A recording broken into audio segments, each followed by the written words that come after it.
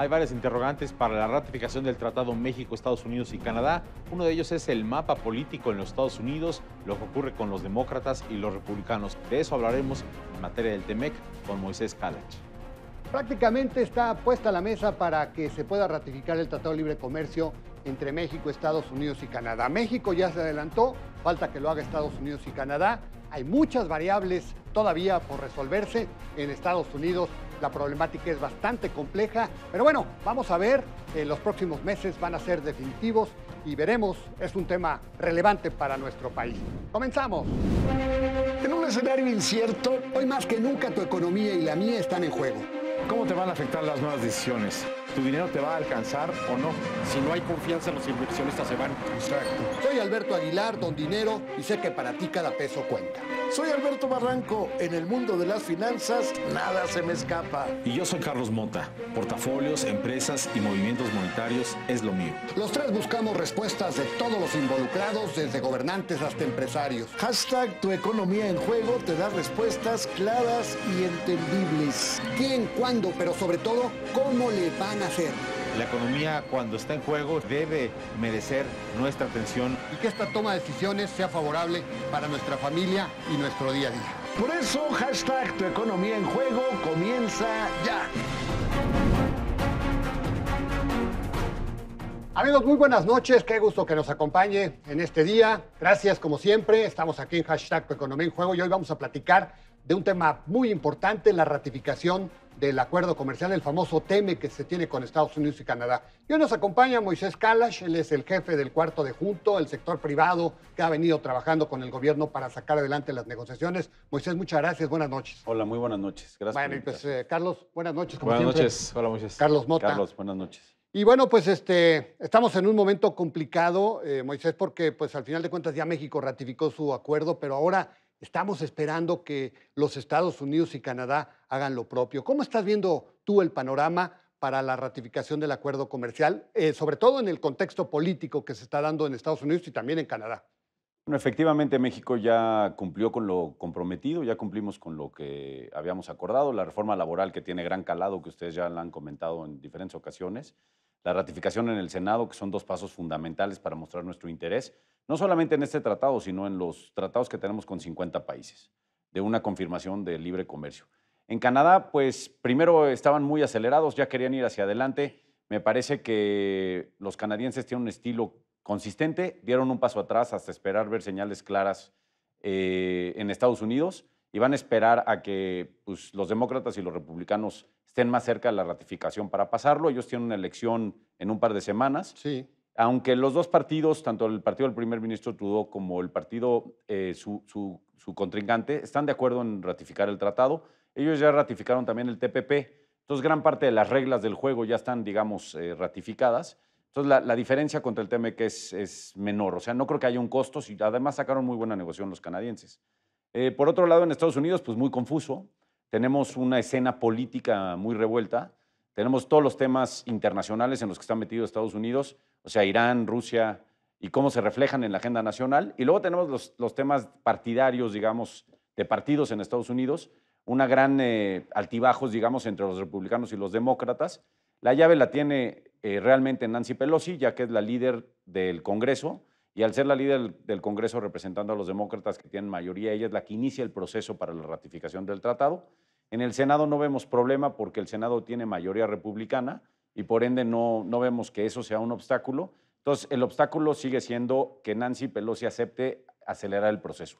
¿Por qué no lo ha hecho? Bueno, creemos que está buscando eh, una negociación política dentro de todos los temas que tiene, o bien está buscando completar el andamiaje político de su soporte, de su partido, eh, para poder tener suficiente fuerza y poner esto en el piso.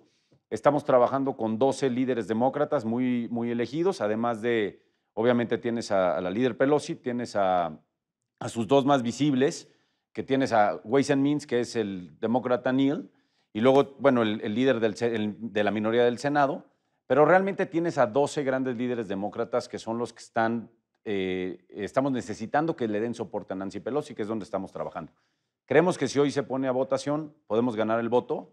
Eh, el chiste de la negociación es cómo hacer que se logre poner a votación esto. ¿Cuáles son los plazos que tienen ustedes previstos eh, con el cabildeo que están haciendo? eh, ¿qué prevén durante las siguientes semanas? Porque se habla de esta ventana en donde durante el verano, acaso septiembre, podría ser como este plazo límite para que se apruebe y si no, se complica, ¿no? No me gusta el tema de límites, eh, me gusta más el tema de ventanas. Sí, efectivamente tenemos una ventana de oportunidad ahora que es este, antes de que se vayan al receso del verano, es, este, digamos julio. Julio. ¿no? Julio. Eh, pero está ya muy apretado porque para que inicien, para que lleven esto un voto, tiene que pasar 30 días después de que manden la, eh, digamos, ciertos cambios a las leyes. Y entonces ese tiempo está muy apretado. Todavía tenemos, o sea, en días todavía la cuenta da, pero hay que ver si realmente se logró un acuerdo cada vez más apretado. Estamos empujando para que eso sea así. Si no, el regreso es eh, del retorno del trabajo es en septiembre. Eh, nada más que ahí tenemos dos grandes temas que podrían complicar la agenda.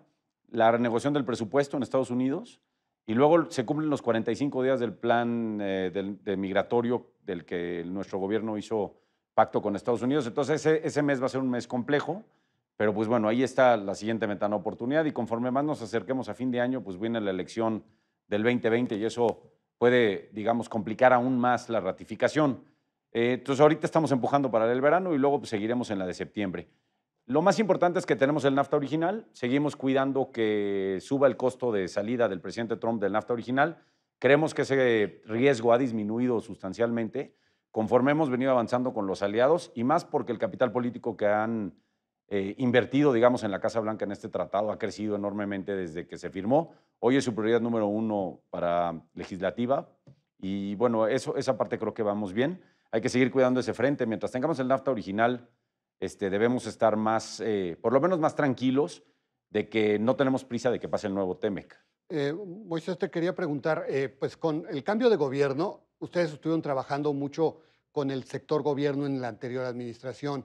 En el actual, bueno, hay voluntad también de la actual administración, pero ¿qué tanto, digamos, ha continuado el esfuerzo que han venido haciendo de cabildeo, eh, tanto del gobierno federal como del, del sector eh, privado? ¿Ha habido modificaciones en ese cabildeo, en ese esfuerzo de cabildeo que se realiza precisamente para, para pues, llevar a buen puerto las intenciones de México? ¿O, o qué tanto se ha modificado pues, esa, esa correlación, esa, esa, esa unión que se tiene que tener para, para poder tener éxito? En el sector privado no ha cambiado nada. Nada. De hecho, el Carlos Salazar, nuestro presidente, ratificó al equipo. Eh, abrimos la oficina en Washington, que era un tema que teníamos pendiente, se abrió a principios de este año y solamente hemos redoblado esfuerzos en el cabildeo, no ha cambiado absolutamente nada. Es más, hemos aumentado el tema de presupuesto y hemos fortalecido el equipo. Entonces ahí vamos muy bien. Este año llevamos alrededor de 120 reuniones de cabildeo, además de viajes a, zonas específicas como Nueva York, eh, Washington, pero en específico California, ya que el Partido Demócrata tiene una gran ascendencia, digamos, un, foco de, de poder en, en California. Eh, con el gobierno mexicano vamos muy bien. Eh, obviamente el cambio de equipo y los cambios de fechas sí causó ciertos, eh, digamos, altibajos, cambió la forma de trabajo, pero con la embajadora en Estados Unidos trabajamos muy bien, con el doctor Jesús Sea, del subsecretario, y con el canciller también. Y bueno, eh, con la Secretaría de Economía lo que toca también, no, no hay ninguna queja, ahí se involucra la oficina del, presidente, Alfonso Romo y su equipo. Entonces nos tardamos en alinear al equipo porque, el- el- el, digamos, es un equipo más amplio, con un orden diferente, pero vamos bien, especialmente en temas de cabildeo, creo que hemos hecho un gran trabajo.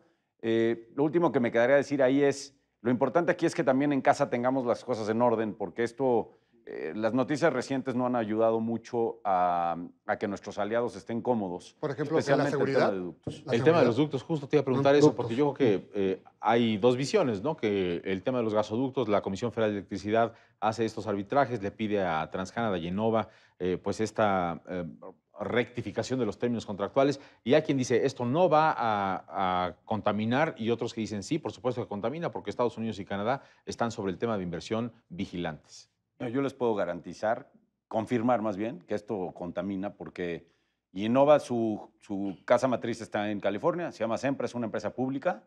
Eh, acabo de mencionarles que California es un estado muy importante para el cabildeo demócrata y Nancy Pelosi es de California.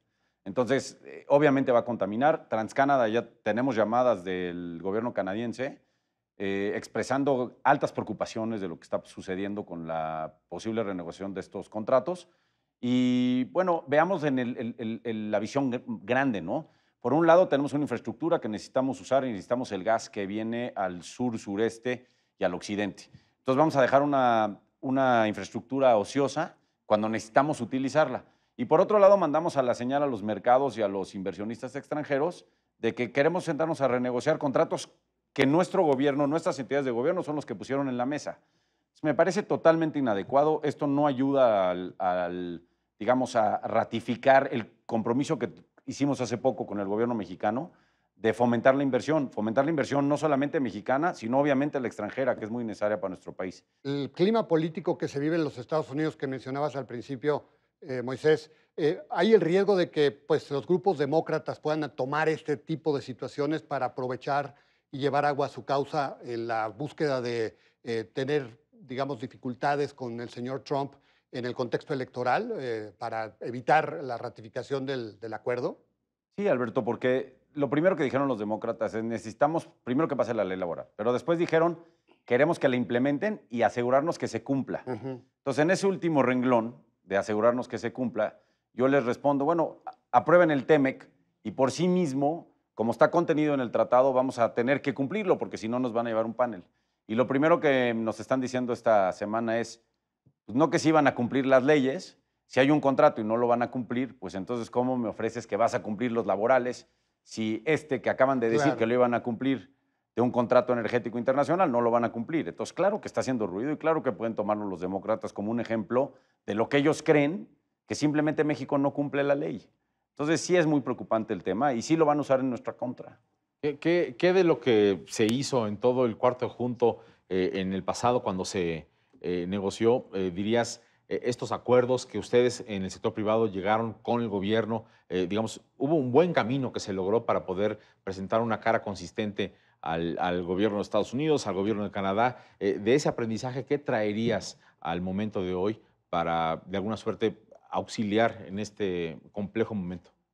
Bueno, me parece que el cerrar filas en un solo equipo, con un solo frente, eh, por ejemplo, en ese momento teníamos un gobierno saliente con una filosofía y una, una visión de país. Después entró el gobierno entrante y el gobierno de transición con una visión totalmente, digamos, hasta antagónicas, pero se cerraron filas para hacer un equipo mexicano, un equipo consistente que vio el interés más allá de, digamos, de los partidos o de los gobiernos. Creo que en este momento hay que hacer algo similar. Hay que cerrar filas y hay que entender que tenemos que ratificar este tratado, ratificar para darle confianza a los inversionistas, confianza al, mundo exterior de que México va a seguir adelante y apoyar en que la agenda del presidente López Obrador local se cumpla. Pero para eso tenemos que tener la misma visión y creo que hoy en este punto no tenemos esa misma visión. Entonces hacer equipo es lo único que, me queda proponer. Proponemos todo toda la fuerza y todo el equipo del sector privado. No olvidemos que además del presidente Carlos Salazar, tenemos a 500 eh, elementos trabajando en lo que es el, toda la estructura del cuarto de junto. Son gente muy, muy conocedora de los temas, son expertos. Tenemos la oficina en Washington para apoyar al, cabildeo con todos los equipos.